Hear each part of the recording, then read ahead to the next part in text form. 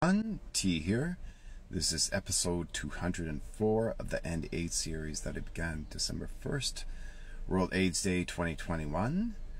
And it is Southern Time Productions uh, funding drive, day 170.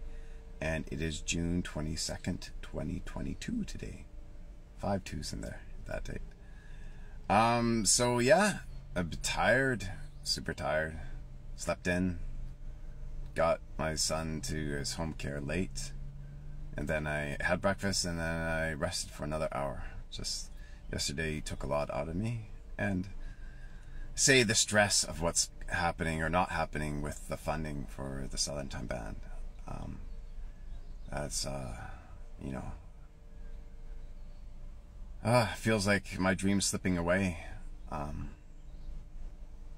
you know, it could still be um, if we get funding in this week at latest next week, we could still make a show.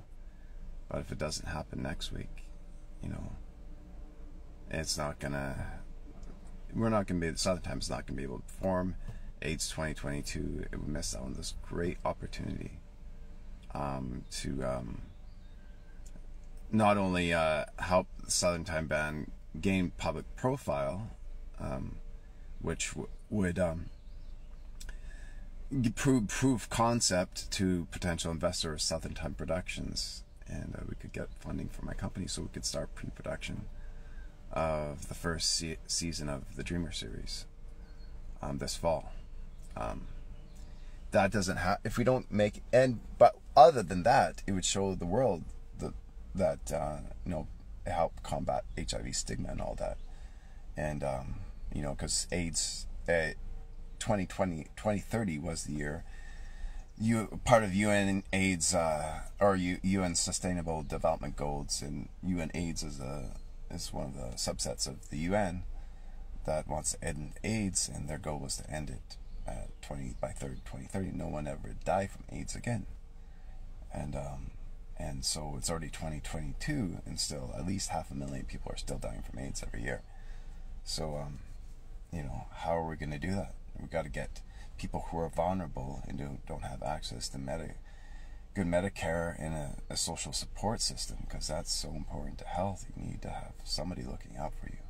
If you don't, then, you know, like, even though I'm in Canada and I had universal health care, they tried to pin a $200,000 bill on me.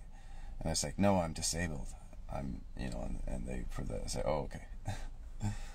but, you know, if somebody wasn't Canada's universal health care isn't always for free. And um, but besides that, if I didn't have my parents there, looking out for me, coming into the hospital once or twice every day for six months, I would not be here. I, I completely believe that. They, if it was by knowing them, them looking out for them, me, loving me, is uh, why I'm still here today. And so, um, yeah, so that's, you know, I would highly doubt UNA, UNN will be able to end AIDS by 2030.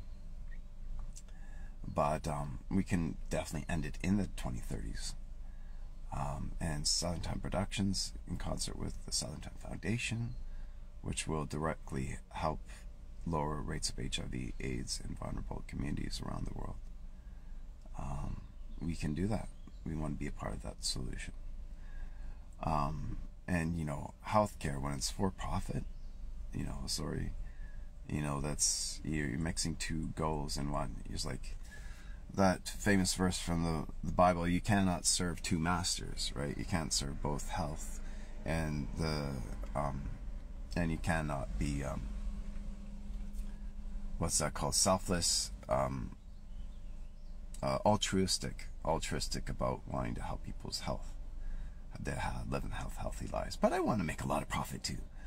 Actually, that's my main goal for my shareholders, of course.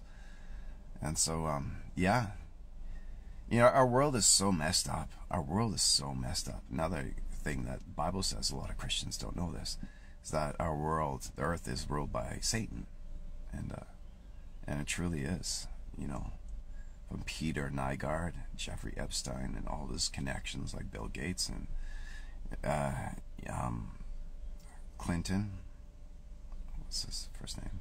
Forget his first name now. Uh, Bill Clinton. Bill Clinton. Two Bills. Bill is a bad name in the 21st, tw- end of 20th century. Um, but um, yeah, and and go to show this even this AIDS 2022. I'll, I'll say it. It's it's it's a it's a pharmaceutical. It's a corporate whorehouse. It's it's selling the wares, and they have this little thing called the Global Village. You know, which is big for people with HIV. It does a lot for us. To me, be in a room with 5,000 other people, mostly HIV positive, and you know, and you learn about all these other cultures, which is so cool. Most people who aren't in the world never get to learn, meet other people from from within that, coming from that culture in the same room, right? You you meet immigrants uh, who've been living here or adapting or trying to adapt to the the the culture that they're living in now, but you don't get the real raw thing like that from so many different countries around the world. It's an amazing experience, and I thank them for the I International AIDS Society for doing that, the IAS. Um, but um, but they have sponsors, right? The the the pharmaceutical company that makes my medication, Biktarvy, Gilead, is also sponsoring AIDS 2022 with other companies, including Pfizer. so it's like these these companies, you know, they have a lot to gain by putting on this global village to show. It's called tokenism. It's called tokenism. Oh, you poor poor HIV person. So I, my wife last Sunday, she um, she said, "Why don't you ask them if they know of any sponsors?" And so I looked up who their sponsors was in Gilead. Hey, that's maker of my pharmaceutical. I've been trying to get a hold of them for a month now. No, they, they nobody will talk to me. I don't know what it is. You think they would want a first HIV positive rock band with openly HIV positive singers um, to uh, you know say, "Hey, Gilead sponsored us. Go Biktarvy, right? Get on that medication so they get get paid more." But no, they don't. They don't. What is this agenda? That's why it feels satanic to me. You know, this that's I come from a Christian upbringing, so those are the words I use, but I don't it can be those that's the sentiment that I have, the emotion I behind the words. Call it, you know, profit, the whatever you want to frame it, it's not good. It's not good the way our world works. People at the top want to keep us normies down. Our everyday folk down. Why do they want to do that? because they don't want to they don't want to compete they want to keep their clique small as possible so they can reap the most war so they can live like emperors like kings. So it's like instead of sharing it with the rest of us. Anyways guys take care